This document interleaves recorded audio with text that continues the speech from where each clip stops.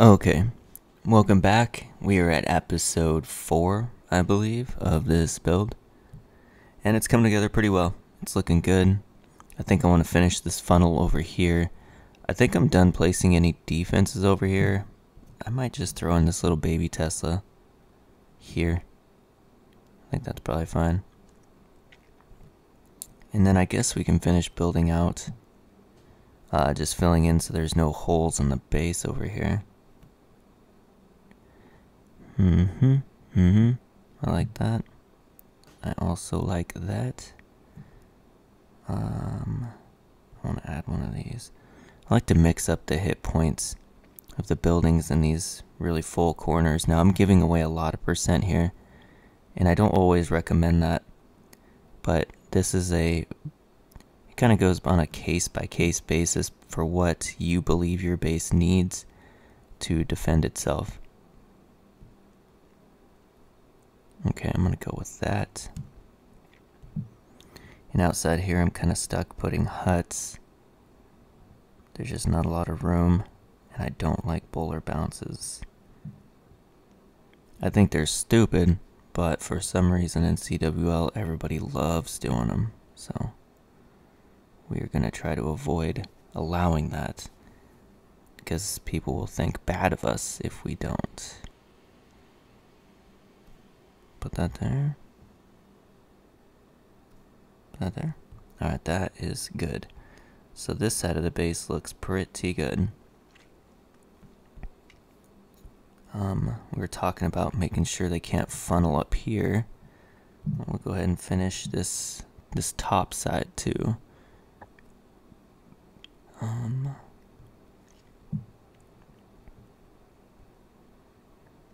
put this here. Yeah, like that. I like that. Here to fill this huge space. Um, go ahead and do a little of this. Yeah, I think I'm okay with that. Yeah, I'm okay with that. Um, do we have? We have a cannon, and we have a mortar. We need to place our sweepers.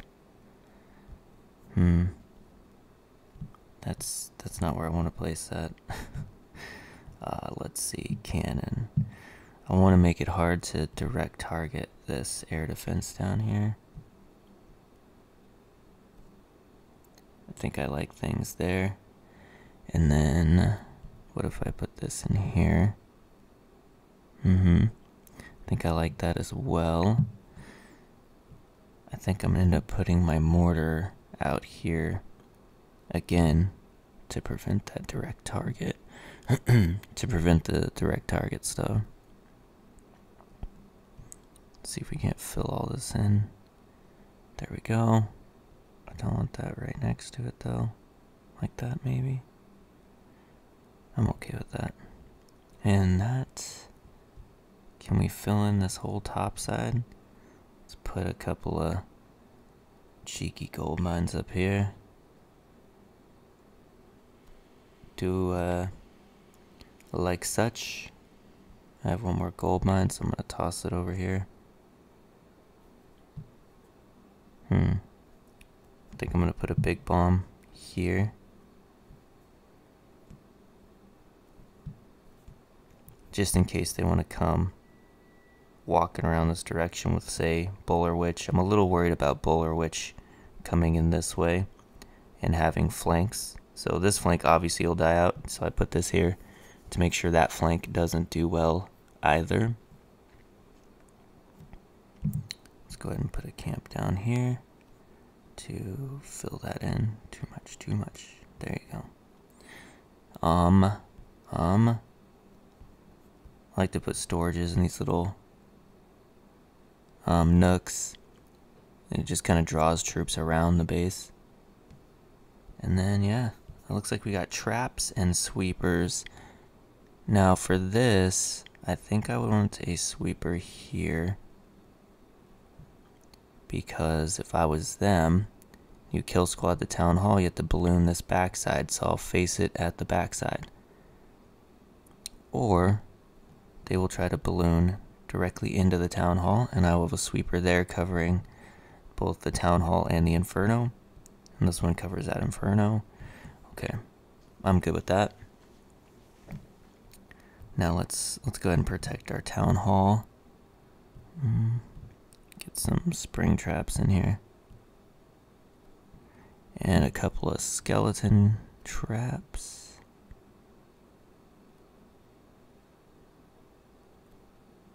Like such.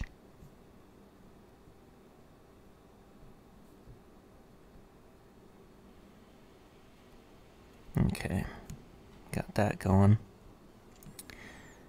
Oh, what should we do next? Should we just place all the giant bombs? We've already got two of them down. Let's go ahead and place the rest. So, looking at this, I want one by this multi-target inferno.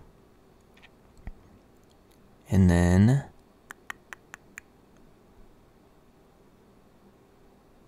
I wonder if I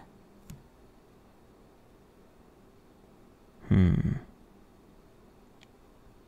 Can I squeeze one in back here? Yep. Perfect. Perfect, perfect, perfect. Let's see. I have one more giant bomb. I think. Hmm. Got one there. Do I want any in my core? I don't think that I do.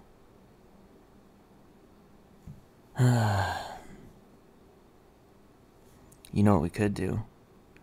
We could put one down here. Just in case anybody wants to come this direction with uh, wall breakers or something.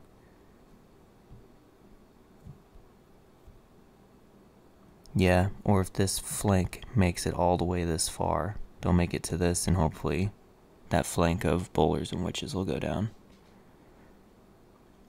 Okay, let's go ahead and place um our red bombs, our our red balloons. So I'm gonna go ahead and protect this wizard tower. I don't typically like red balloons within range of these air defenses, but in this case I'm going to allow it. And then I'm gonna put a double. And I like putting my red my red balloon traps in doubles. It really it really messes up balloons.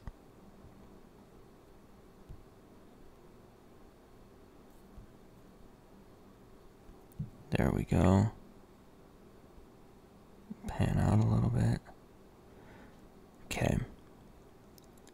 Let's go ahead and place our black bombs. So I want one here, Wizard Tower, and the Inferno. Hopefully we catch a E-Dragon there, a little E-Drag bait. Already got one here. Hmm.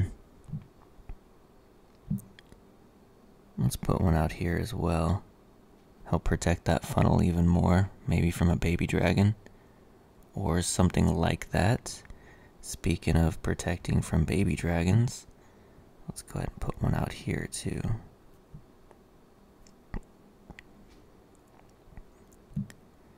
And we'll put one here. And I think I'll place the last one here. Again, this looks like baby dragon bait to me, so we'll put that there. Okie dokie. I have one skeleton trap. Probably gonna put this somewhere by an inferno, I believe. Or, or I could put it out here to mess up this funnel. That's what I'll do. And we'll put it on ground. Mm, I'll leave it on air. I'll leave it on air. In case a baby drag or any amount of dragons comes in there, they can get hung up on that for a minute. Okay, let's see. Spring trap. Put it between these two defenses here. Put one in front of the inferno here. And we'll put one by the Inferno here. Oh, let's go this direction with it in case they come from this side.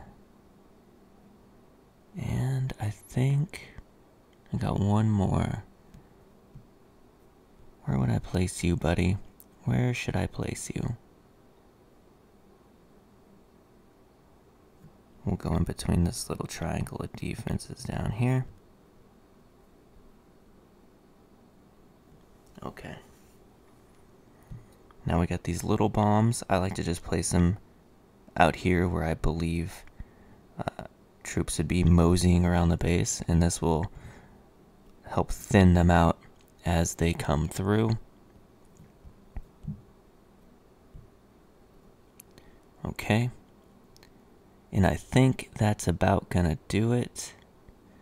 Well, let's toss one up here. And then, of course, we have these stupid statues. So I guess I'll place it here and here. Alright, what do you guys think? I think it looks pretty good. I think it looks pretty good. Um, yeah, the next video will be me showing uh, replays about how well this base did or did not hold up and the adjustments that were made. Alright guys, that's going to do it for today's video. Thanks for checking it out, and I will see you in the next one.